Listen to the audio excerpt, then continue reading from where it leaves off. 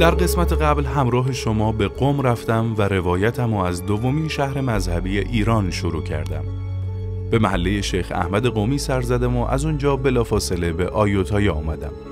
بعد از مشورت با استاندار آیوتایا به منطقه رفتم که 450 سال پیش شیخ احمد اونجا مستقر شده و الان مقبره و مزارش تو اون قرار داره. مقبره که الان وسط دانشگاه تربیت معلمه. بعد از اون به لوبوری رفتم به کاخ نارای و ساختمان خراسان و از چند تا مورخ درباره تمدن ایرانی ها پرسیدم. آخرش هم به تماشای نمایش خون نشستم که پر بود از نشانه های فرهنگ ایرانی.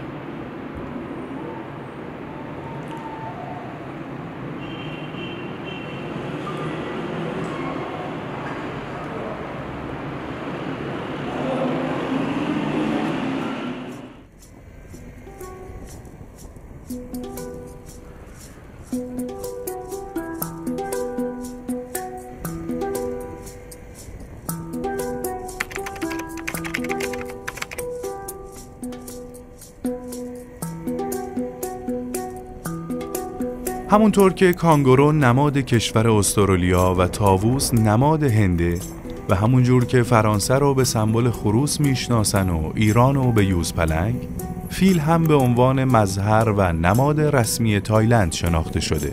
به طوری که از سال 1998 با تصویب و اعلام دولت تایلند 13 ماه مارس روز ملی فیل در تقویم رسمی ما ثبت شده و مردم در آیوتایا و بعضی از شهرها در قالب جشنواره های رنگارنگ خدمات ارزشمند فیل به سرزمینشون رو به هم یادآوری می‌کنن. البته ما الان در ماه سپتامبر هستیم ولی اگه در ماه مارس به اینجا می اومدیم این شانس رو داشتیم که شاهد پذیرایی شاهانه مردم از فیل ها باشیم. در پرچم های قدیم تایلند تصویر یه فیل سفید وجود داشت که نشان قدردانی ما از این حیوان وفادار بود. فیلها در دوران جنگ مثل یه نیروی وفادار به مردم و پادشاهی تایلند خدمت کردند و در تمام عملیات های نظامی حکم یه ماشین جنگی قدرتمند رو برای ما داشتن در زمان صلح هم از اونا به عنوان یه وسیله نقلیه تشریفاتی استفاده می شد. مثل وقتی که دامادی قصد داشت نو عروسش رو به خونه بخت ببره. شیخ احمد قومی هم با یکی از همین فیلها مراسم ازدواجش رو کامل کرد. در قسمت قبل گفتیم که شیخ احمد بعد از ترک قوم و مهاجرت به تایلند در شهر آیوتایا مستقر شد و به خاطر هوش و ذکاوت و اخلاق و امانتداریش به سرعت مورد اعتماد پادشاه قرار گرفت و به وزیر اعظم او تبدیل شد. شیخ احمد بعد از ده سال زندگی در تایلند تصمیم به ازدواج گرفت. پادشاه تمایل داشت که شیخ احمد با یک نژاد تایلندی وصلت کنه تا رابطه او با قوم تای به یک پیوند فامیلی تبدیل بشه. شیخ هم با دختری از خاندان اصیل ابچوهای ازدواج کرد و به این ترتیب به داماد ملت تایلند تبدیل شد. ثمره این ازدواج دو پسر به نامهای چوئن و چایا شد و دختری به نام شی. چایا قبل از بلوغ از دنیا رفت و نسل شیخ از چوهن و شی ادامه پیدا کرد. در تمام این 400 سال فرزندان و نواده های شیخ جزو موثرترین و مورد اعتمادترین شهروندای تایلند بودند مناصب و سمتهای کلیدی رو در دست داشتند. اونا برای اتحاد خودشون انجمنی هم تأسیس کردند تا فرزندان ایرانی تایلند محفلی برای دور هم جمع شدن داشته باشند. رئیس سابق دادگاه قانون اساسی تایلند یکی از نواده های شیخ احمده دکتر آکراتان چولارات. او الان ریاست انجمن نواده های شیخ رو هم بر عهده داره. به سراغش رفتم تا روایتم و از هجرت شیخ کامل کنم شما به عنوان یکی از نواده های شیخ چه سمت هایی رو عهده دار بودید و چه خدماتی به سرزمین تایلند کردید؟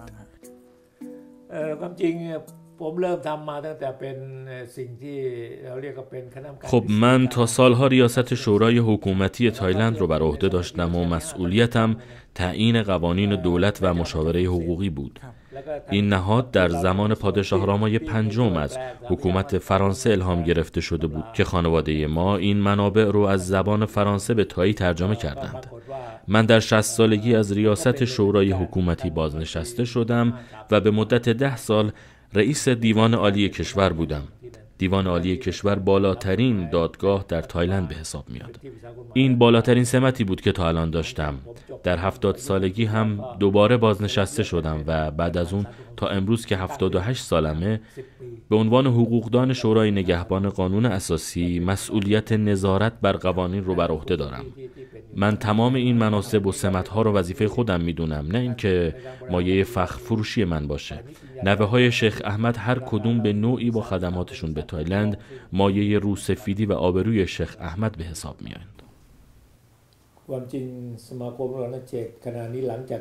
در سال 2510 تایلندی ما انجمنی رو تشکیل دادیم با عنوان انجمن نوادگان شیخ احمد که مرکزی باشه برای گرد هم جمع شدن نسل شیخ احمد قومی. فرزندان شیخ احمد قومی تا امروز منشأ خدمات و برکات زیادی برای سرزمین تایلند بودند و مورد احترام و محبت مردم تایلند. و این به خاطر خصوصیتی که اونا از شیخ احمد قومی به ارث بردند. خارجی های زیادی وارد تایلند شدند اما مردم تایلند باهاشون زیاد صمیمی نمی شدند اما مهربونی و امانتداری و اخلاق حسنه شیخ احمد قومی باعث شد که مردم تایلند به راحتی اونو بپذیرند و بهش اعتماد کنند. اخلاق شیخ محبت تایلندی ها رو به خودش برانگیخت. اونا وقتی وارد تایلند شدند مردم احساس کردند که با اونا بیگانه نیستند و احساس قرابت زیادی با اونها داشتند. شیخ احمد و فرزنداش باعث شدند که تایلند از مستعمره بودن رهایی پیدا بکنه و هیچ وقت تحت سیطره کشورهایی مثل ژاپن یا انگلیس قرار نگیره. این از خدمات شیخ احمد به مردم و سلطنت تایلنده. دربار پادشاهی تایلند همیشه به افرادی از نسل شیخ تکیه داشته و توی بزنگاه های تاریخی از اونا کمک گرفته.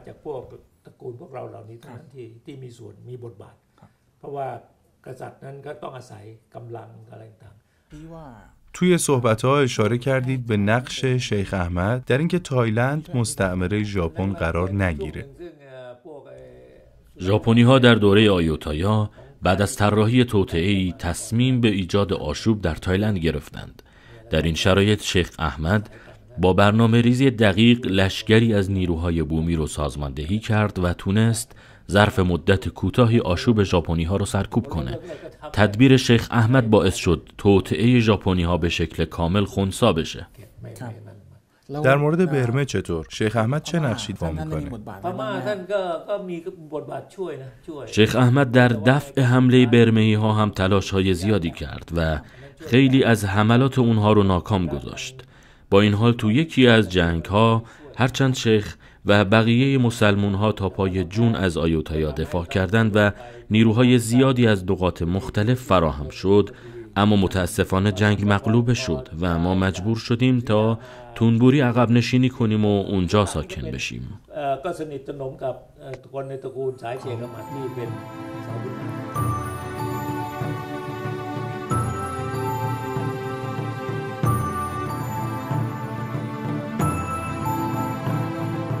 برای رفتن به ویرانه های ارگ حکومتی دست به دامن نقشه شدم.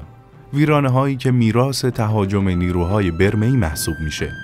این منطقه جایی در شمال آیوتایا قرار داره و من الان در جنوب شهر هستم. احتمالا اگه بخوام با اتومبیل به اونجا برم تو ترافیک صبحگاهی گیر میافتم. به نظرم بهترین راه استفاده از مسیر رودخونه است. یه جاده کمربندی آبی. اینجا قایق ها همپای تاکسی و تراموا و اتوبوس و مترو مسئولیت حمل و نقل عمومی رو به عهده دارن. این از ویژگی های خوب آیوتایا و بعضی از شهرهای تایلنده. این ویژگی می‌تونه گاهی مسیر یک ساعته ما رو نصف کنه. آیوتایا در زبان سانسکریت یعنی نفوذ ناپذیر یا به نوعی شکست ناپذیر. با این حال تو بعضی از برهه های تاریخی این اسم با مسماش تناسب چندانی نداشته. آیوتایا چند بار مورد تهاجم قرار گرفت و یک بار هم به طور کلی به تصرف دشمناش در اومد و خراب شد.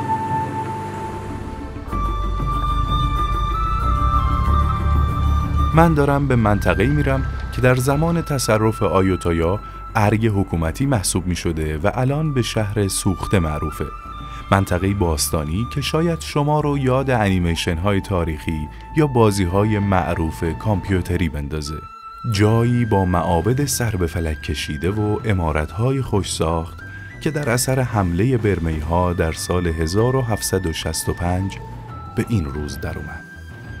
البته در زمان وقوع این جنگ حدود 100 سال از درگذشت شیخ احمد قومی میگذشته اما شیخ هم در دوران حضورش دو بار جنگ با برمه ها رو تجربه کرده جنگ های برمه و سیام یا بهتره بگم میانمار و تایلند از سال 1547 میلادی و با تهاجم برمه ها شروع شد این اولین محاصره آیوتایا توسط نیروهای برمه بود که البته با مقاومت نیروهای تایلند و عقب نشینی مهاجمان به پایان رسید.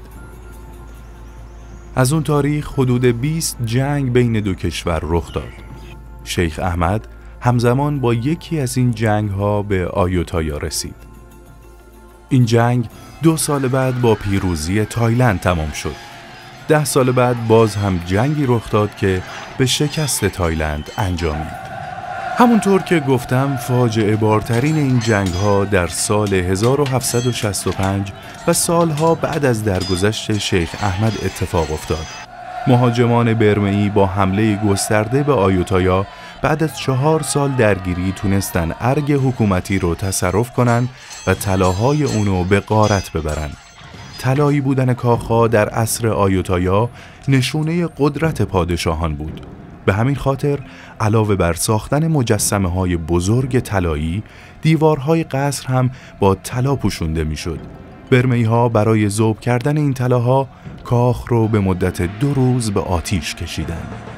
آوریل سال 1768 بود که آیوتایا به یه ویرانه بزرگ تبدیل شد و دوران شکوفاییش به پایان رسید. بعضی کشورها دوره های تاریخی رو به نام خاندانها و سلسله ها نامگذاری می کنند. اما در تایلند پایتخت ها وجه تصمیه دوره های تاریخی هن. با سقوط شهر عصر آیوتایا تموم میشه و دوران بعدی به اسم پایتخت بعدی که شهر تومبوری بود نامگذاری میشه.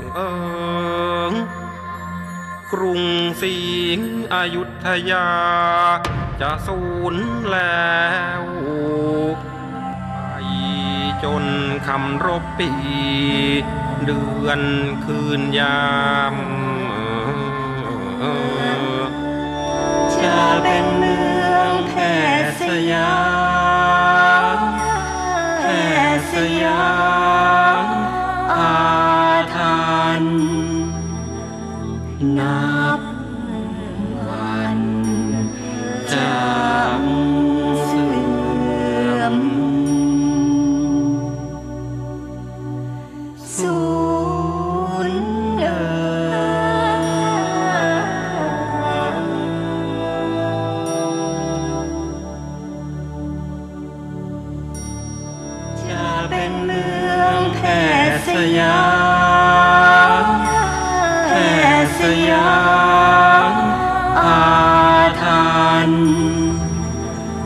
นับวันจากเสื่อมสูญเอ่ย شیخ احمد در دوران حضورش در تایلند گروهی رو به نام چاوسن تأسیس کرد. هدف این گروه تبلیغ دین اسلام و مذهب تشیع در اون سرزمین بود. اخلاق خوب شیخ به علاوه خدمات انسان دوستانه و صادقانش به مردم تایلند زمینه رو برای اقبال مردم به مذهب شیخ آماده کرد. مسلمونا به عنوان اقلیت رسمی پذیرفته شدند و شیخ احمد در کنار سایر سمتها به عنوان چاف را شیخ احمد رتاندی بودی یعنی رهبر جامعه مسلمانان و شیخ الاسلام پادشاهی تایلند معرفی شد. کم کم مذهب تشیع رواج پیدا کرد و مساجد و حسینیه های زیادی ساخته شد. مراکزی که تولیت بعضی از اونها به عهده نواده های شیخ احمد قرار گرفت. امامباره در مرکز بانکوک از معروفترین حسینیه های تایلند به حساب میاد ساختمونی سفید رنگ با معماری تلفیقی خیره کننده یکی از نواده های شیخ به نام شیان چی تانوات متولی اونه. به سراغ اون رفتم تا روایتمو در مورد تأثیرات مذهبی شیخ احمد و آینهای دینی مسلمون ها با حرفای اون کامل کنم.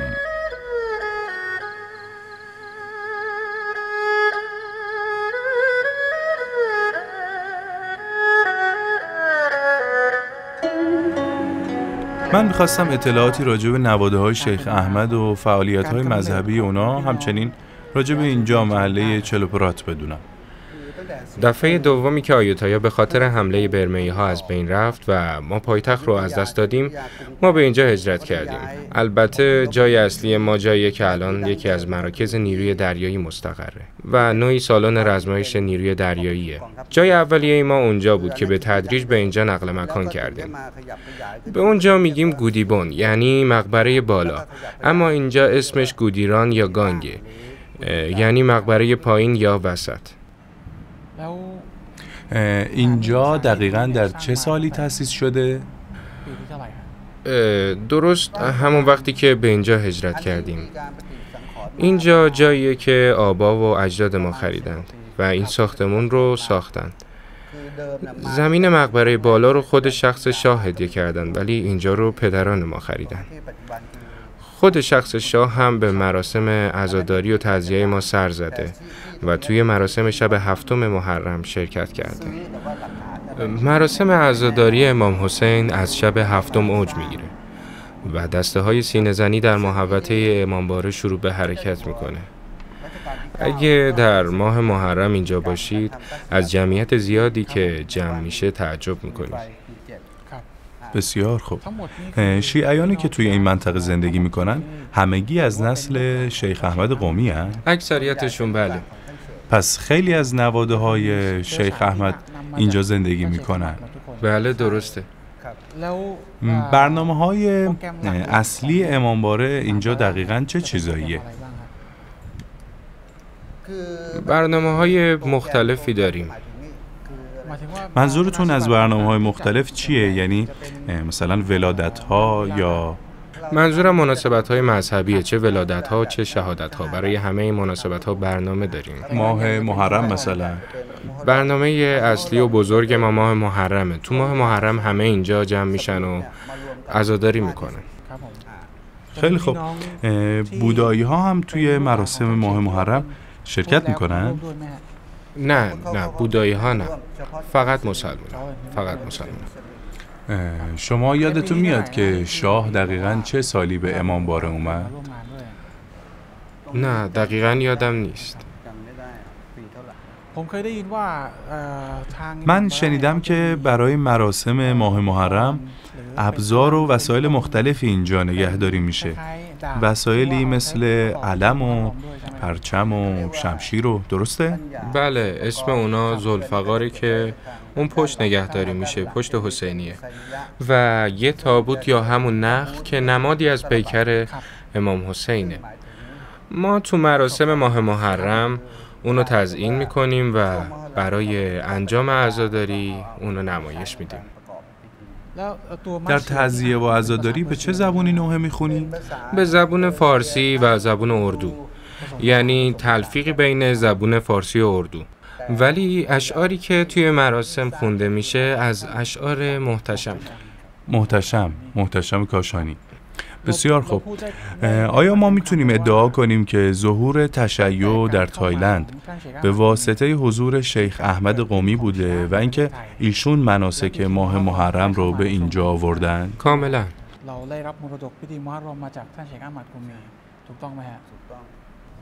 میشه منو به انبار حسینیه ببرید و اونجا رو به من نشون بدین؟ بله بله. بفرمایید.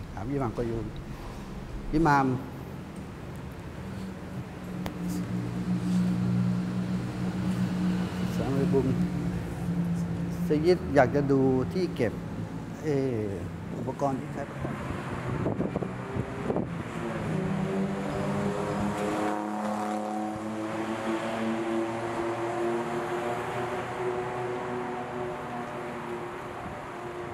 ผมอยากให้หมามอธิบายครับว่านี่ ممکنه که توضیح بدین این دقیقا چیه؟ این تابوته یا همون نخل من از زمانی که چشم باز کردم این اینجا بوده. قدمت این تابوت 400 ساله یعنی تقریبا روزگار شیخ احمد قومی. ما اینو فقط تو ماه محرم تزیین می‌کنیم و توی مراسم اونو به حرکت در میاریم. بسیار خوب. در مورد این عکسی که اینجاست هم ممکنه توضیح بدین؟ این عکس شاهه که در سال 2496 تایلندی به اینجا تشریف آوردن. توی شب هفتم محرم که ما اینجا مراسم تعزیه و سوگواری داشتیم. این عکس پدر بزرگ منه که امام جماعت اینجا بود زمانی که شاه به اینجا آمد. توی این عکس هم پدر بزرگ من حضور داره. و تو این عکس هم همینطور. وسایل و ابزار دیگه هم هست که توی ماه محرم استفاده بله، بشه. بله البته ما اونا رو جاهای مختلف نگهداری می‌کنیم. اون طرف یه ساختمون دیگه است. ما اینجا فقط گلها رو نگهداری می‌کنیم. وسایل تزینی و پارچه ها توی یه ساختمون دیگه است و اونجا نگهداری میشه. مراسم ماه محرم همون شیوه قدیمیشو داره یا توی این سالها تغییراتی کرده؟ بله به همون شکل اصیل خودش اجرا میشه بله. یعنی توی این سالها هیچ تغییری نکرده؟ نه کاملا مثل قبله. یه نفر به عنوان مداح روزه می‌خونه حوادث کربلا رو روایت می‌کنه. مرسیه ها رو به سه زبان اردو، فارسی و عربی می‌خونه که این مرسیه ها عمدتا از نسخه های محتشم کاشانیه که اون نسخه ها همینجا نگهداری میشه.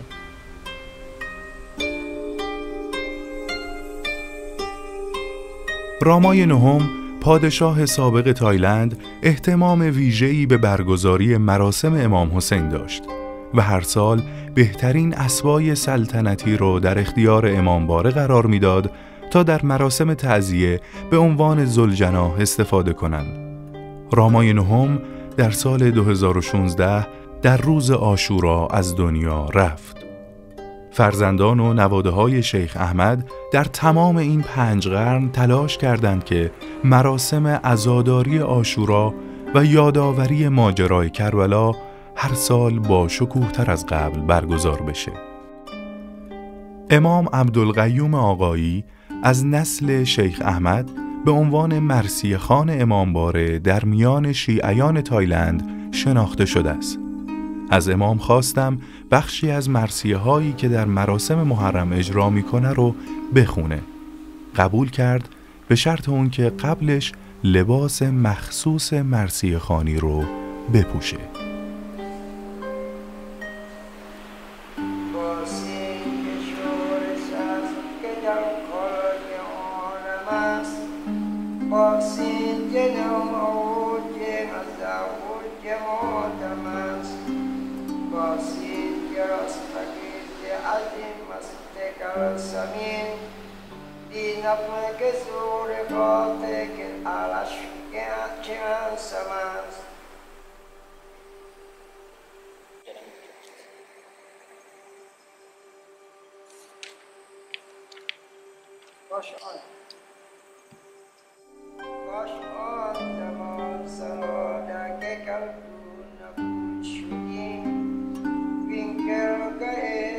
کرگه بلند ستون ستون شدیم باش آن زمان نزاهی کل سوز علبه یک شور برگ کلمان کلدون ندون شدیم بعد آن زمان در آمدی از کوتاه کو سیله سیه گروی سمین که حکون شدی.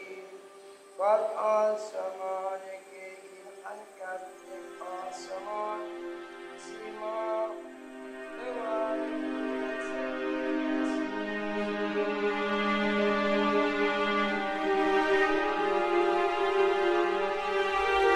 توی تزئینات داخلی امامباره نگارگری هایی دیده میشه که به اونی که من توی زیارتگاه های ایران دیده بودم خیلی شباهت داره. نمی‌تونم با اطمینان کامل بگم که رابطه ای بین اینها وجود داره چون تخصصی توی تاریخ پژوهی هنر ندارم. اما همین موضوع باعث میشه به موزه تاریخی تایلند سر بزنم. شاید با نمونه های بیشتری اونجا مواجه بشم. قرنهای زیادی از تاریخ سرزمین منو میشه به شکل فشرده توی این موزه تماشا کرد. آثار و عتیقه هایی از دوره نانچاو، دوره سخوتای، دوره آیوتایا، دوره تومبوری و دوره بانکوک توی طبقه های مختلف این موزه وجود داره. نمی‌دونم موفق میشم پیدا کنم یا نه ولی من توی این موزه مشخصا دنبال آثاری هستم که به درد روایت من بخوره. آثاری که مثل گل و مرغهای دیوار امامباره برای من آشنا باشه و منو یاد نقوش ایرانی بندازه طرح گلای خطایی و بندهای اسلیمی و جدولای تذهیب و چیزای مشابه این. با اجازه متصدی موزه از بعضی از تابلوها عکس می‌گیرم تا در موردشون تحقیق کنم. توی این موزه هر چیزی می‌تونه فرضیه منو تقویت کنه. از یه سکه خیلی کوچیک تا یه در خیلی بزرگ که گل و مرغهای منبت کاری شده اون توجه بازدید کننده های موزه رو به خودش جلب می‌کنه. قصد دارم توی این موضوع از یه کارشناس کمک بگیرم و اصرار دارم که حتما ایرانی باشه. ابراهیم حاتمی از متخصصای فرشه که سالهاست به تایلند هجرت کرده و در حوزه هنر قالیبافی و طراحی اون خیلی فعاله نظر اونو در مورد عکس هایی پرسیدم که توی موزه گرفتم و ازش درباره تاریخچه اون سوال کردم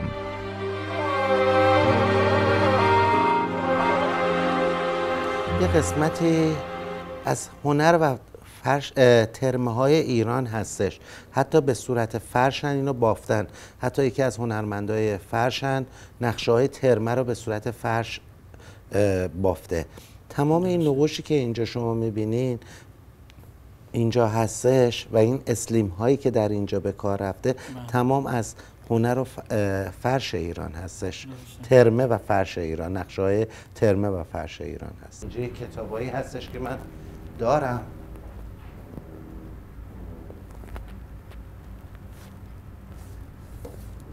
این کتاب هستش در رابطه با سوزندوزی های سنتی ایران که تمام در اینجا از نقش و نگارها حالت بافت تمام اینها توضیح داده شده و تو این عکسایی که شما به من نشون دادین تمام این نقش و نگارها رو می‌تونیم ببینیم در اینجا. خیلی شبیه به هم هستن. حتی شما ببینید این پته با اون تقریبا شبیه هستش. که دوستان مثلا من هستش اینجا آقای آرش گرویان ایشون یه مینیاتوریست ایشون یه تلفیقی کرده از هنر خود ما مینیاتور ما و هنر تایلند که با این دوتا رو میکس کرده و یه چیزی رو ارائه داده برای درسته. با culture تایلندی بت- بتونه نشون بده. درسته. من حتی یکی از کارهای ایشون رو دارم که عکس King راما 5 درسته. با نقشش و عکسش رو کشیده که این شخص خیلی مورد احترام تایلندی ها. هستش در اینجا. ایشون عکسش رو کشیده و تلفیقی از کالچر ما و کالچر اونا رو نشون داده. حتی عکسش هم می‌تونم بیارم خدمتتون نشون بدم.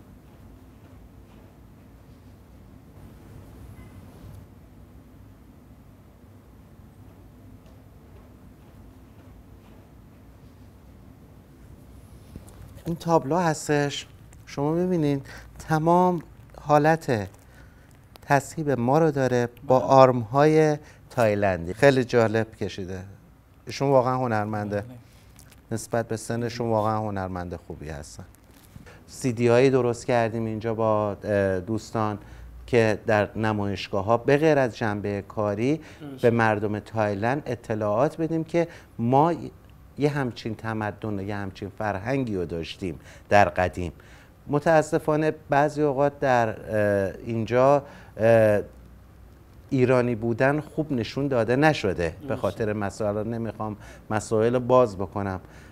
سعی کردیم ما ایرانی هایی که اینجا هستیم چهره واقعی مردم ایران رو نشون بدیم. نه اون چیزی که تو روزنامه ها و اخبار نشون داده میشه.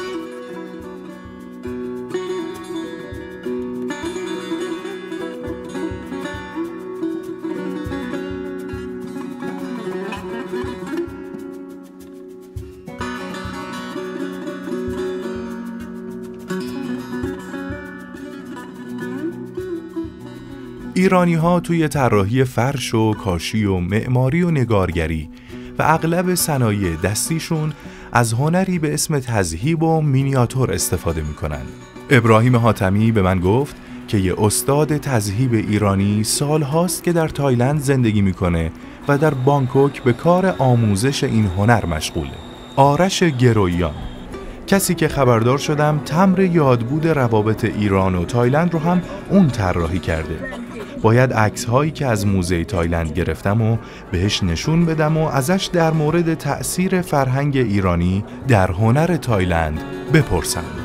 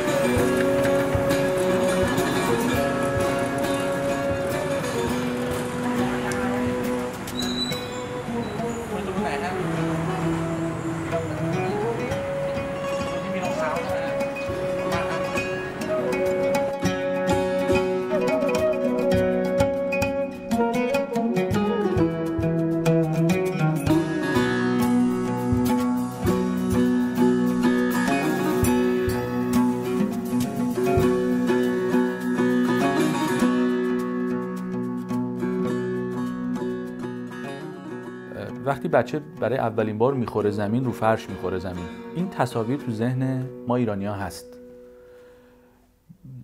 یعنی به عنوان یک ایرانی به عنوان کسی که از اون منطقه میاد از اون صرف ایران رو دارم میگم نمیگم اون مثلا از ازبکستان تاجیکستان افغانستان هم اینا برادرای فرهنگی ما هستن ولی صرف ایرانیان.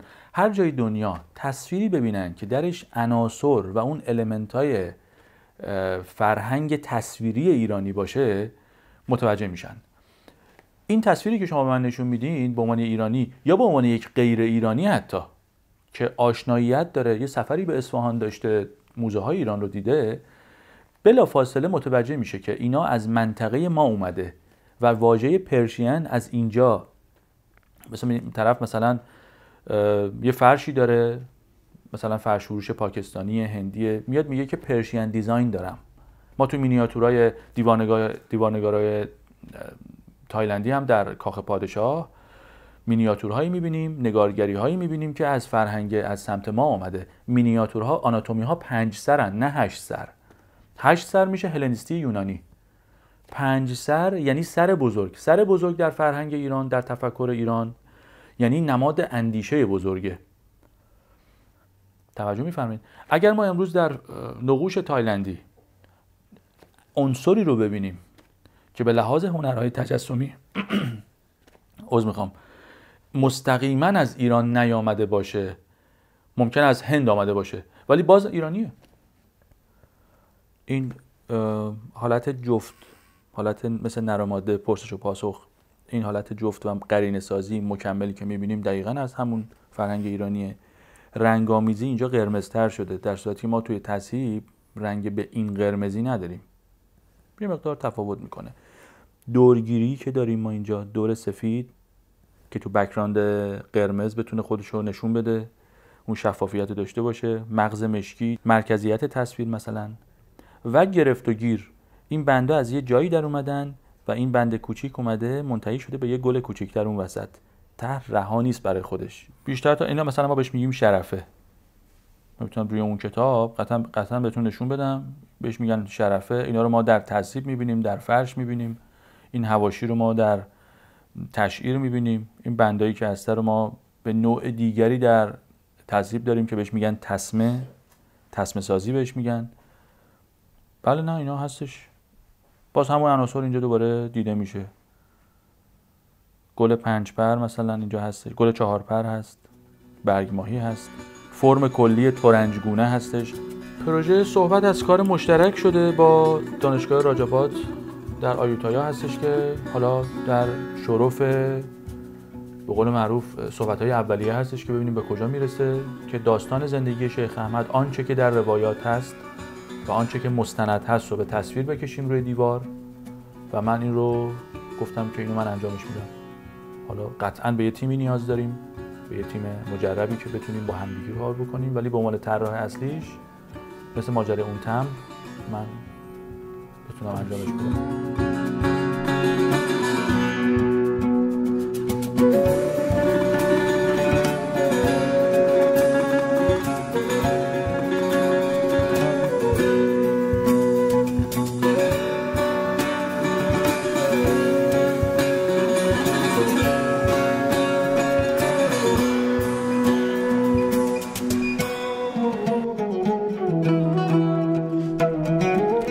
غیر از آرش شاهین هم پرچم فرهنگ و هنر ایرانی رو توی تایلند بلند نگه داشته.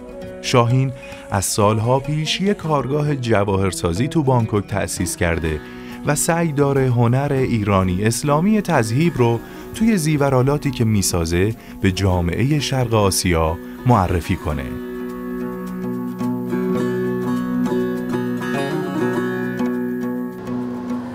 اگر من به شخصه به عنوان یه ایرانی کار من طلا و جواهر هستش. وقتی که به پرسنلم انتقال میدم که طلای 18 ایار روی ایار 750 باید وایسه. وقتی که بهشون انتقال میدم ایار طلای ما 755 باشه بعد پرسنل هم می‌پرسن برای چی؟ میگم به خاطر اینکه مدیون مردم نشیم. بعد مدیونی رو پروسش رو جا میندازم که چقدر انسان موظف از نظر شرعی و خدایی به خاطر رزق و روزی حلال که باید توی تعهدی که نسبت به کارش و مشتریش داره باید مصر و قاطع باشه توی عمل کردش اتوماتیک من فرهنگم رو به عنوان ایرانی شخصیتم رو به عنوان ایرانی تمدنم رو به اون کشور مخاطب انتقال دادم. وقتی که توی فروش جواهراتم صداقت داشته باشم برای جواهراتم داره سرتیفیکیت صادر میشه شناسنامه داره صادر میشه به پرسنلم چون پرسنل منم توی کار جواهرم و متوجه میشن اخبار صحیح رو در مورد اون سنگ انتقال بدم و بگم باید متحد باشید نسبت به مشتری و مشتری مدار باشید اتوماتیک به پرسنلم انتقال دادم که یک ایرانی چطور فکر می‌کنه چطور زندگی می‌کنه چطور امرار معاش می‌کنه چطور متعهده به رفتار کاریش. وقتی که به پرسنلم انتقال میدم که این زمرد رو این یاقوت رو این برلیان رو وزنش رو خیلی توجه داشته باشید که دقیق وزن بشه. اگر یک قیرات و یازده صوت هستش بنویسید یک قیرات و ده صوت. یک صوت چیز زیادی نیست. ولی فرهنگ خودم رو صداقت کاری خودم رو به عنوان یک ایرانی به عنوان یک مسلمان چرا که ما از من می‌پرسن چرا ما باید اینطوری بنویسیم؟ همیشه بهشون پاسخ میدم که در کتاب آسمانی من اومده که وای به حال کم فروش خدای ما اینقدر توصیه می‌کنه به کسی که داره کار تولید می‌کنه یا هر چیزی رو ارائه میده به مشتریش به وزن توجه داشته باشید. رفته رفته برای اونا هم جا میفته برای اون کشوره که توش فعالیت دارید جا میفته که یه ایرانی یه مسلمان با توجه به حال حاضره که دنیا واقعا تبلیغات منفی می‌کنن بر علیه مسلمان ها من به نوبه خودم باید کارم رو صحیح انجام بدم و به شخص هر ایرانی اگر همین رویه رو پیشه بکنه هر مسلمانی هم اگر همین رویه رو پیشه بکنه تبلیغ از این بهتر نمی‌تونه باشه.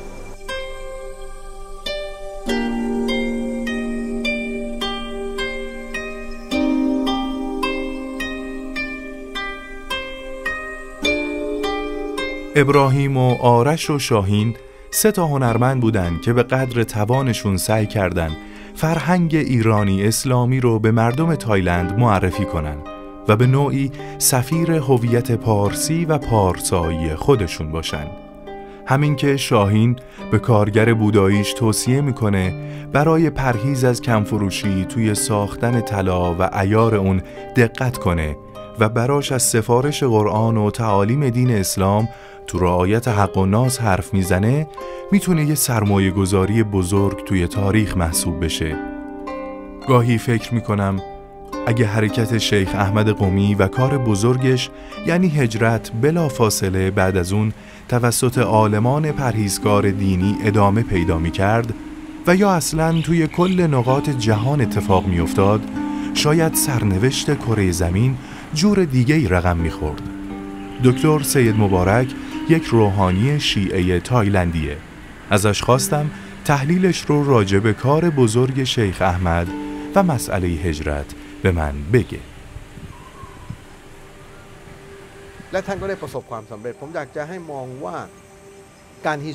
نکته ای که می‌خوام راجع به هجرت بگم خیلی مهمه. ما اگه به تاریخ اسلام نگاه کنیم می‌بینیم که تو زندگی حضرت رسول صلوات الله علیه حوادث و مناسبت های مهم زیادی وجود داره. مثلا روز مبعث که ایشون به عنوان پیامبر انتخاب شدن یا مثلا روز فتح مکه. یا غزوه ها و فتوحات دیگه. ولی وقتی دقت می‌کنیم می‌بینیم که هیچ کدوم از اونها مبدع تقویم و سال اسلامی قرار نگرفت. بلکه تقویم هجری همونطور که از اسمش پیداست از هجرت رسول اکرم از مکه به مدینه شروع شد. نتیجه می‌گیریم که مسئله هجرت در اسلام و در نزد خداوند بسیار مهمتر از سایر حوادث بود. اگه مبعث مهمتر بود مبدع گاهشماری اسلامی باید روز مبعث قرار می گرفت. یا اگه فتح مکه مهمتر بود ما تقویم دینی رو باید از روز فتح مکه حساب می کردیم. ولی به خاطر اهمیت هجرت سال اسلامی از روز اول هجرت شمرده میشه.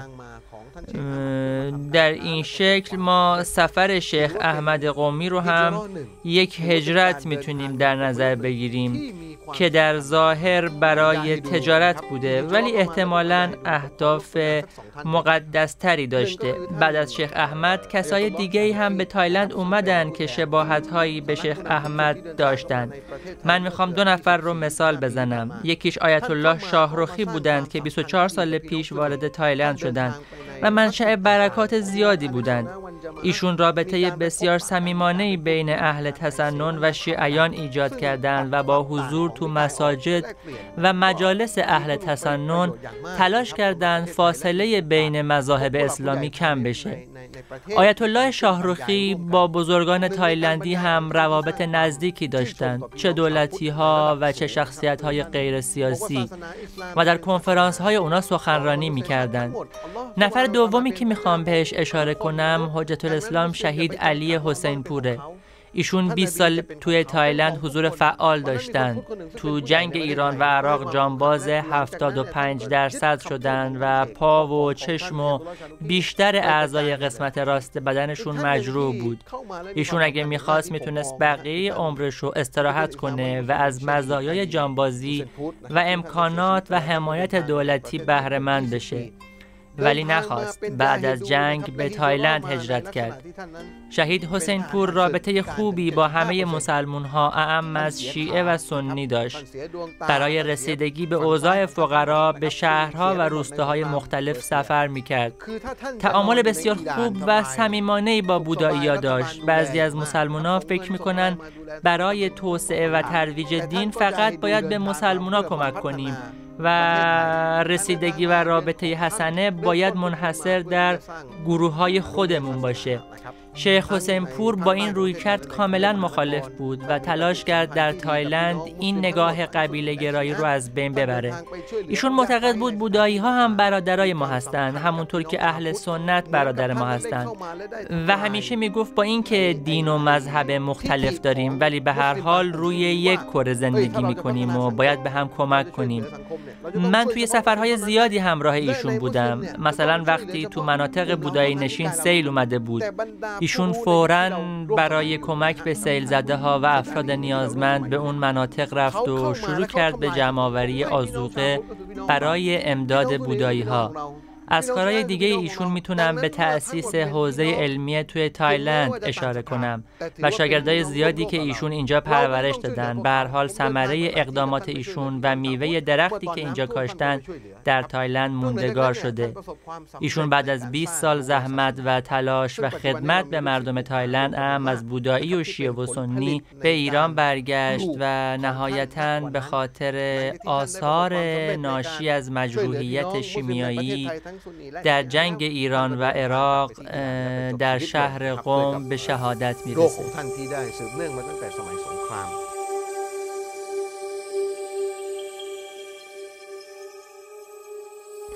روزی که روایتم و از قم و از محله شیخ احمد قومی شروع کردم فکرشو نمی کردم باید به قم برگردم و این قصه رو با مزار شهید حسین پور به پایان برسونم. قهرمانی که چهارصد سال بعد از شیخ احمد از همون محله کودکی شیخ کار بزرگش رو شروع کرد و نخواست خوشنشینی تو شهر قم مانع رسالت اصلی و مأموریت حقیقیش بشه. رسالتی که از یوسف قم یه عزیز توی تایلند ساخت و دریچه ای از نور هرچند کوچیک توی گوشه ای از این جهان تاریک به روی بشریت باز کرد.